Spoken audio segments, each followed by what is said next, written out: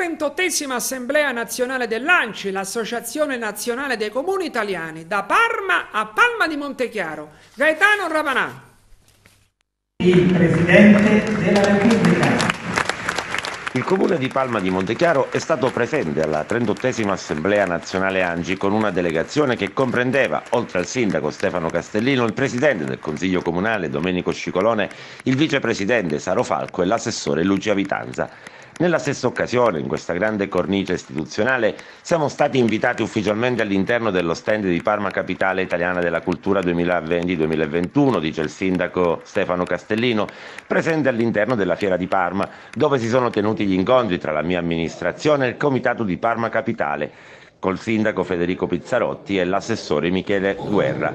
E l'amministrazione e il gruppo di lavoro. Io sono Palma, promotore di Palma Capitale, rappresentato da Angela Rinollo, che ha curato in questi quasi due anni in modo professionale ed egregio il rapporto istituzionale con la città capitale italiana della cultura 2020-2021, diventando il punto di collegamento tra le due realtà culturali e che ha organizzato insieme a Francesca Velani, coordinatrice di Parma Capitale, questo importante incontro istituzionale che ha portato importanti importanti frutti, oltre a riempire d'orgoglio tutta la comunità palmese.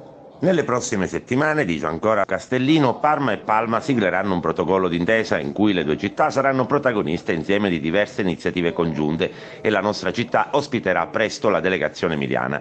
Il gruppo di lavoro Io sono Palma ha consegnato ufficialmente anche una copia del dossier di candidatura dove è stato inserito il progetto da Parma a Palma che verrà messo subito in atto grazie alla disponibilità e all'interesse che la nostra città ha ricevuto. Ma i tre giorni in Emilia sono servite alla delegazione palmese di approfondire alcuni temi con diversi incontri e riunioni di lavoro.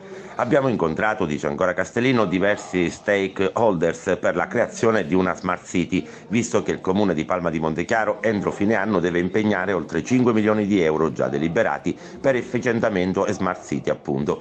Concrete le possibilità che questo intervento possa raddoppiare diverse le ESCO incontrate, un progetto che migliorerà le condizioni di vita della nostra città e l'ottimizzazione dei servizi e soprattutto la sicurezza della comunità.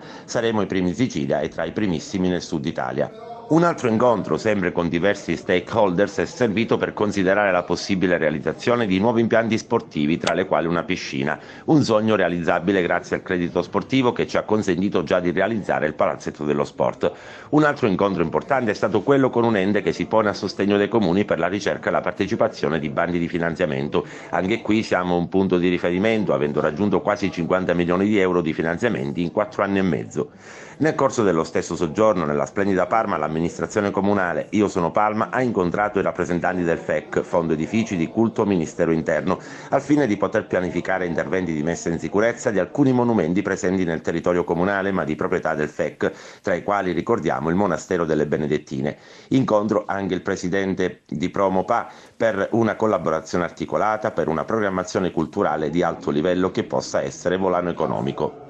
Nel corso dell'assemblea dell'Angi Sicilia, continua ancora Castellino, Palma è stata protagonista insieme ai sindaci siciliani, ha portato avanti le istanze dei comuni in tema di bilancio e finanza locale. I comuni siciliani rischiano il collasso. Palma di Montechiaro è stato il primo comune ad approvare il bilancio di previsione 2021, per la seconda volta consecutiva nei tempi previsti, fatto mai accaduto nella storia del nostro comune, dice ancora Castellino, ed ha portato il suo contributo sia tecnico che politico per la battaglia in essere.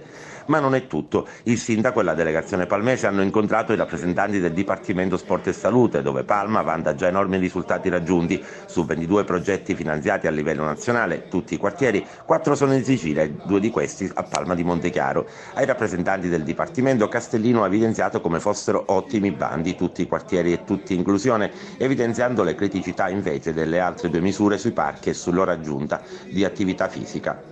Insomma, molta carne al fuoco, conclude Castellino. A tutto questo si somma un'attività di public relation e di promozione portata avanti costantemente in tutte le occasioni. Abbiamo svolto un lavoro enorme ed abbiamo avuto l'orgoglio di ricevere il plauso per quanto realizzato. Palma di Montechiaro, che con onore abbiamo rappresentato, è diventata grazie al duro, costante e silente lavoro un punto di riferimento in diversi settori e il cammino di rinascita intrapreso emoziona tutti. Il sindaco Castellino ha voluto ringraziare tutta la delegazione, Domenico Scicolone, Rosario Falco, Lucia Vitanza e Angela Rinollo, per il loro impegno, professionalità, passione e dedizione al servizio della città del Gattopardo. Queste, dice ancora Castellino, sono le donne e gli uomini che rendono Palma orgogliosa.